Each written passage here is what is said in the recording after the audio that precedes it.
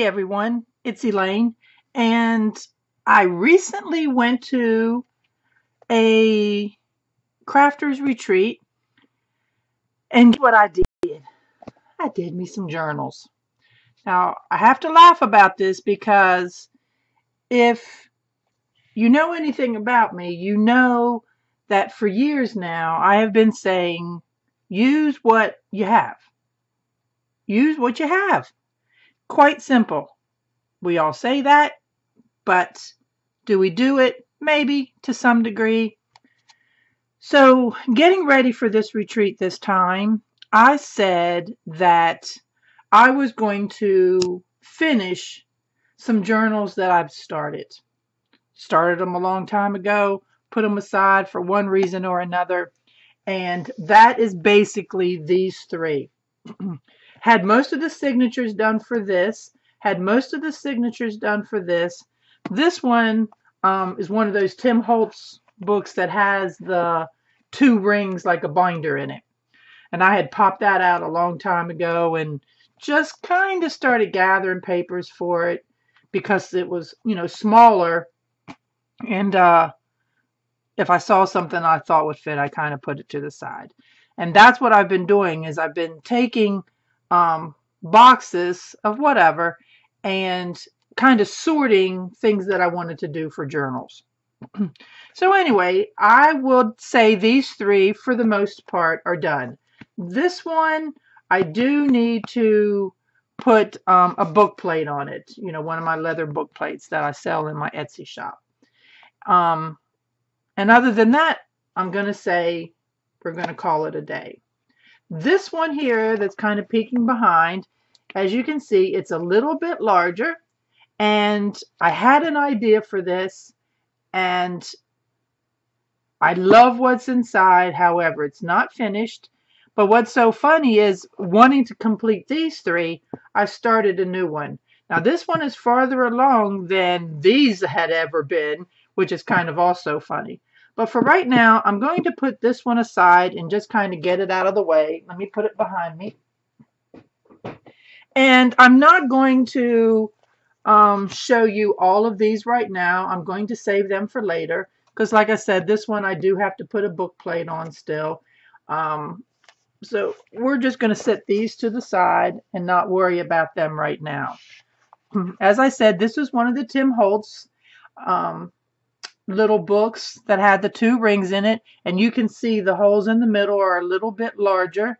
Um, all of the um, the stuff that's on that is how Tim Holtz sells it. It feels a little bit like linen. I would definitely say it is some kind of cloth. So let's just do a flip through and we'll chat a little bit as I go through it. Um, one thing that I have been doing is collecting odds and ends. When you go to some of the junk journal retreats and, and people that do this, they like to give you goodies. They share with you um, enormously. And, and I also share with them. So many times you come back with onesies and twosies of things. So I have been um, putting things in this big cloth basket I have. Um, and I say that to you because little bitty things won't fall through because, like I said, it's a cloth basket. Um, so I had taken that with me on the retreat with the goal of mainly using the stuff in it. And I'm going to tell you, these are true junk journals now. So I used what was in that basket and did not take anything else other than perhaps some extra paper if I needed to fill in. So this little thing here was um, something that I collected at one of the retreats, and it had these. It had two paper paper clips on them. This is a paper clip that somebody had um, put some flowers on. Sorry, I'm out of frame there. Had put some um, flowers, had die cut some flowers, and um, I guess they were selling them or whatever and uh, I got a couple of them. Now I can't get the thing back on. You know how that goes. Here we go. And so I just stuck a little card in there. Um, you've also heard me talk about my little notepads. I love making little notepads inside the journals. Um, it's permanent, but you can untie this and flip this up and pull out the pieces that are at the top because I always perforate them so these can tear out and then that way you have your template to make more pages to put up under the little cover. Um, and so from there, like I said, I just, I used what I had. If it was a little envelope someone gave, I had given out a bunch of these auction tags. And so someone did a paper ruffle. Um, this actually was a digital that when I downloaded it, I downloaded it incorrectly. So when I went to copy it, it kind of blew it up and and distorted it. But look how cute that is. I mean, I just couldn't throw it away. And I did it on two sides of like an agenda out of an agenda book.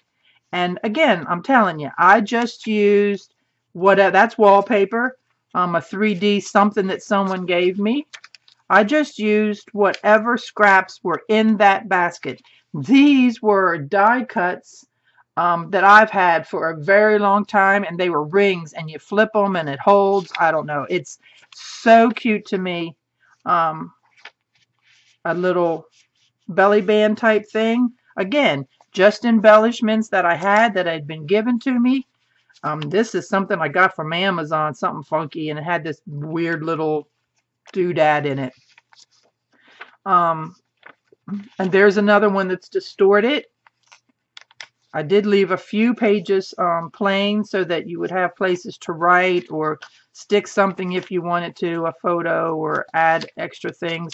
So not every page has something on it, but for the most part, they do. There's something that I dug out of that basket to put on these pages. Excuse me. Oh, got a little glue there. Um, but, you know, that would be one suggestion that I would do because I think that we all get so overwhelmed with the amount of ephemera that we have, that we've been given, that we create ourselves, and we always end up with little giblets of something, and um, and it, it's just overwhelming. It kind of goes everywhere.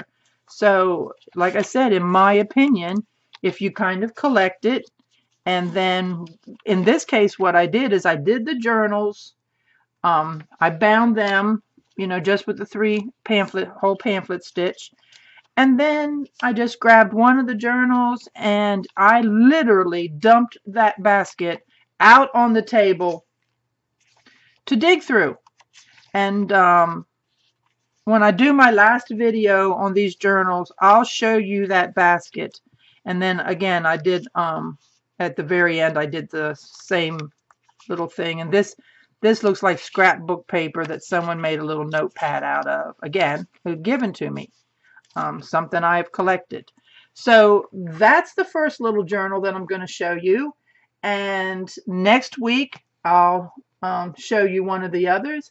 And then the following week, I'll show you the third one.